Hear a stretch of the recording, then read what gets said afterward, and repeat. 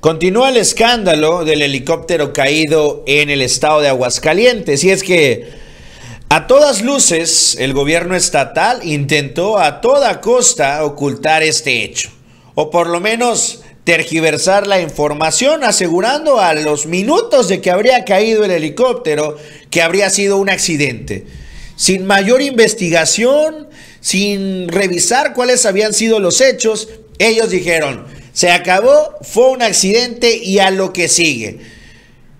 Momentos después, usuarios de las redes empezaron a denunciar algo. Que se habrían oído disparos al interior del helicóptero, perdón, a las, alrededor de la caída del helicóptero.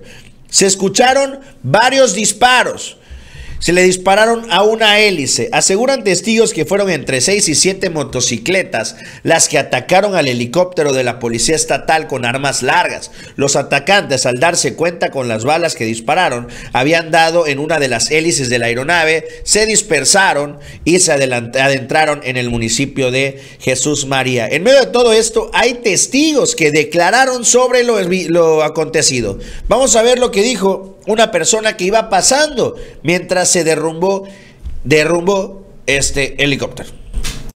Bueno, para que me platique, pues, qué fue lo que sucedió. Eh, mire, pues en ese momento yo iba pasando por este, en lugar de los hechos en donde se ven varias motocicletas siguiendo al helicóptero en tierra. En ese momento se ven las motocicletas como le empiezan a disparar. Eh, empieza como que a evadir el helicóptero los disparos. Sí evadió varios disparos, pero le alcanzaron a dar en una hélice. Es la falla en donde uno pensó que iba a caer en la clínica 6 o en la clínica, o sea, se vio que quiso caer en un lugar seguro. Sí, por eso cayó aquí. Por eso cayó aquí en la clínica 3. Eh, cambió de rumbo y fue donde cayó aquí de este lado. ¿Cuántos motociclistas eran? De 6 a 7 motociclistas, 6. ¿De qué tipo de moto? Como de pista y una que otra de como, como motocross. ¿Alcanzó a ver eh, las armas? Pues sí se veían armas largas, sí se veían armas largas, sí se veían armas largas y apuntando al helicóptero. Okay. Eh, en cuanto le dispararon al helicóptero, eh, estos motociclistas, vaya, ¿qué hicieron?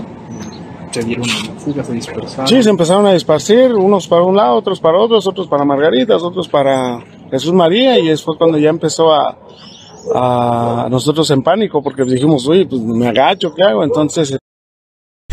Por esa parte de uno de los testimonios de una persona, obviamente no, no permitió que se viera su cara, digo, no lo juzgo. En medio de esto continuaron. El mismo secretario de gobernación habría comentado que había que esperar la información para continuar esta investigación y no. La gobernadora dijo que no e inmediatamente puso un escargado de despacho de la Secretaría de Seguridad Pública, que bueno, recordemos, en este helicóptero venía el titular de Seguridad Pública, incluso muchos dicen vinculado al caso García Luna. Pues bueno, el encargado de despacho, el licenciado Manuel Alonso García, reportó que no, que ya lo revisaron bien y que antes de que se cayera el helicóptero no había ningún tipo de llamado de auxilio apoyo, con lo cual se cierra la investigación y todo fue un accidente. Vamos a verlo. El estado de Aguascalientes vive una tragedia al día de hoy, lamentablemente, cuando eh, el helicóptero Águila 1 de la Secretaría Pública del Estado, cerca de las 8 de la mañana, eh, se desploma, donde pierde la, vida eh, tanto el sector de Seguridad Pública como eh, cuatro servidores públicos más de la, de la Secretaría Pública y donde eh, pues lamentamos este trágico accidente.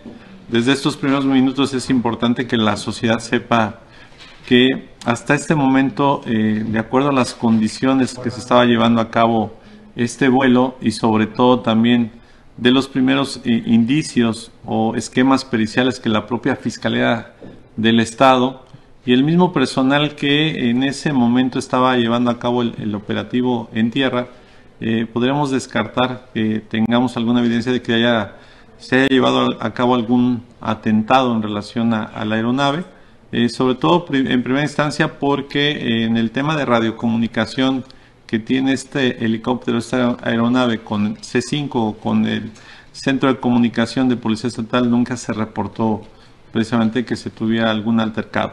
el mismo personal que estaba operando eh, en tierra que era personal eh, de la Fiscalía General de Justicia del Estado, que era personal de la propia Policía Estatal, era personal del Ejército Mexicano y de la Guardia Nacional, que en la estrategia blindaje Aguascalientes estamos llevando a cabo prácticamente operativos a diario. No, no se pudo identificar en ese momento que haya suscitado algún altercado como el que en algunos casos se han manejado de que pudo haber suscitado que a la aeronave o al helicóptero le hayan algunas personas desde tierra haberle, haberle disparado. Creo que es importante que la ciudadanía sepa que en este momento tenemos un, accidente, una tragedia que lamentamos eh, mucho, que lamentamos como hidrocálidos, como mexicanos, y que también eh, las condolencias a, las familias de estos cinco servidores públicos y que, eh, como lo ha dicho la gobernadora Tere Jiménez, será muy enfática en las investigaciones de que no se ocultará nada y que la autoridad estatal somos este, los primeros eh, preocupados y ocupados para que eh, esta situación se esclarezca. Esta parte de lo que dice el secretario de Seguridad Pública interino, el encargado de despacho, y es que todavía en la nochecita y en la tarde se empezaron a reportar bastantes eh, WhatsApps que a mí me hicieron llegar incluso ahí en la noche de cómo estaban haciendo un llamado de parte del grupo delictivo que reside en Jalisco. De que no saliera la gente. De que no se salieran de sus casas después de las 11 porque iban a hacer lo que acá conocemos como la barredora. El presidente instruyó a la Fiscalía General de la República y anunció hoy por la mañana que pues no pueden hacer eh, una declaración de que tengas que ver algo más allá de un accidente, pero va, va, a decirle a la Fiscalía General de la República, le va a encargar que se encargue, valga la redundancia, de la caída de este helicóptero, que se investigue a fondo. Vamos a verlo. Y ahora corresponde hacer la investigación sobre lo sucedido actuando con mucha responsabilidad.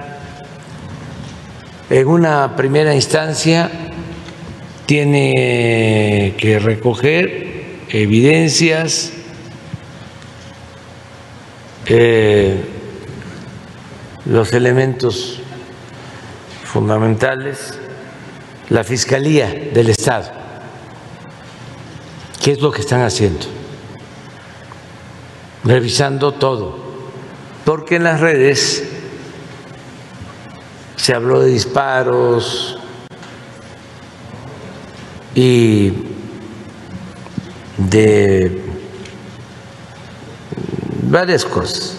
Sin embargo, hay quienes sostienen que no sucedió nada de eso y no se puede hacer un juicio sin tener elementos, sin tener pruebas. Es algo delicado. Entonces, está recogiendo toda la información la Fiscalía y luego lo que procede es que la Fiscalía General atraiga el caso.